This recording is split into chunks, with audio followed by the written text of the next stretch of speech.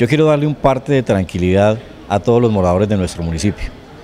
Yo sé que por todas las redes sociales han tratado de desinformar, pero lo más preocupante, alarmar a la municipalidad. De eso no se trata. Estos, estos panfletos y el hecho de que los suban a las redes sociales lo que causa es zozobra e intranquilidad.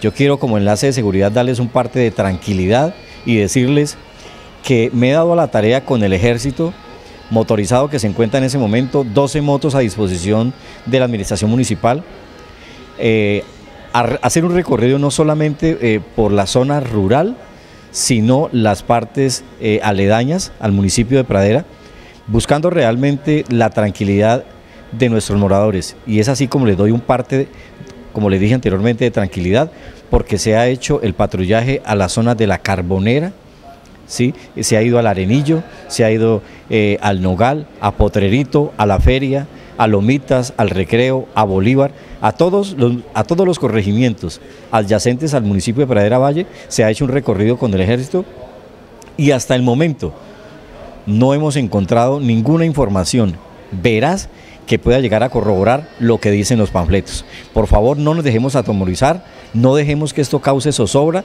y lo más importante, nuestros estudiantes, nuestros niños, que vayan tranquilos a sus lugares eh, de estudio porque realmente Pradera en este momento podemos dar un parte 100% de tranquilidad.